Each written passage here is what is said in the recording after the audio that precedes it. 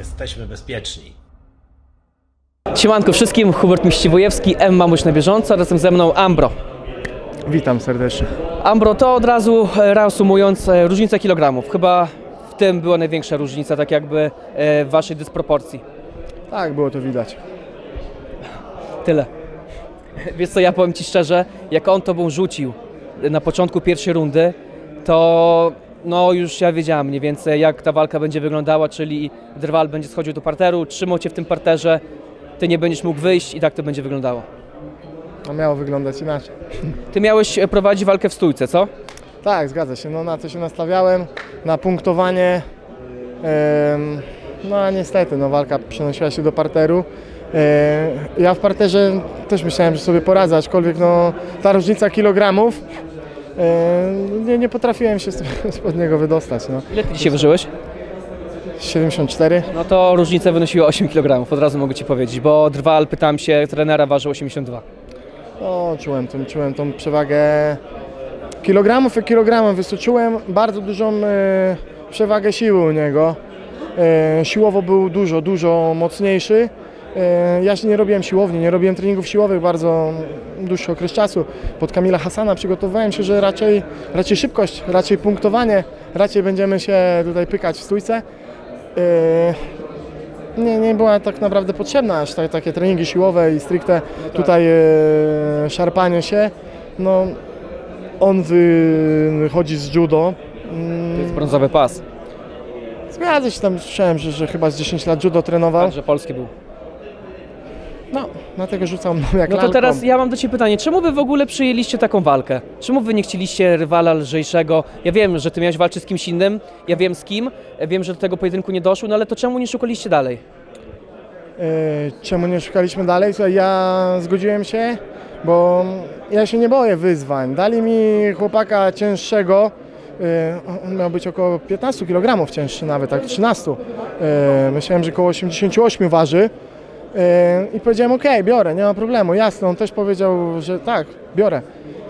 Myślę, że i z mojej strony, i z jego strony nie było tutaj kalkulacji. Ja chciałem wyjść, chciałem się pokazać, chciałem się bić, trudno, no i wychodząc do oktagonu e, biorę pod uwagę to, że mogę przegrać. Jasne, nie chciałem tego, chciałem wygranej, ale również on chciał tego samego. Tylko jedna osoba wychodzi wygrana z tego pojedynku, jedna się cieszy i zgarnia wszystko, a druga niestety wychodzi smutkiem, ze smutkiem z, z tego oktagonu. Dzisiaj to byłem ja. Jest mi bardzo przykro, jestem zły na siebie, e, e, zawiodłem siebie, zawiodłem też innych. Lekcja.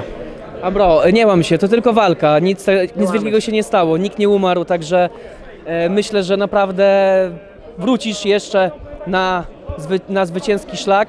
Tylko powiedz mi właśnie, będziesz wracał jeszcze do tych pojedynków, czy to już jest na razie robisz sobie przerwę od tych walk? Bo wiem, że masz dużo innych zajęć, masz firmę, masz inne zajęcia, e, masz problemy też ze zdrowiem, jak to wygląda?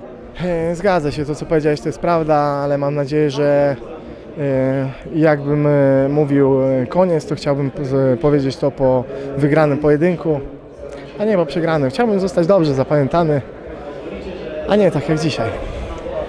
Kurczę, e, Ambro, naprawdę, powiem Ci szczerze jeszcze raz, nie mam się, to jest tylko walka, to jest, wiesz, to jest ten zabawa.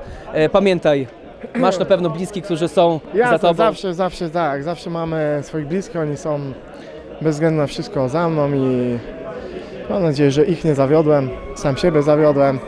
No i co, mam nadzieję, że może jeszcze jakieś yy, dostanę propozycje od Fame MMA.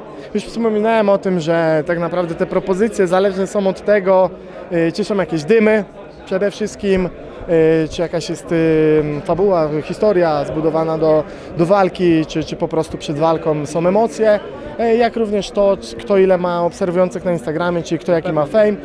Także jeżeli chcecie moją walkę zobaczyć, to na Instagramie Daf Jak Ambro. zobaczy walkę z Hassanem? No, Kamil pewnie, pewnie też by chciał podjąć taką walkę. Zobaczymy, na pewno idę odpocząć teraz y, i zobaczymy jakie będą dalsze moje tutaj e, kroki w Fame MMA. No Ja i tak- dalsze w życiu. Ja tak to podsumowując, pamiętaj, ja zawsze mówię, lina pęka, nie komandos. Trzymaj się, powodzenia, się.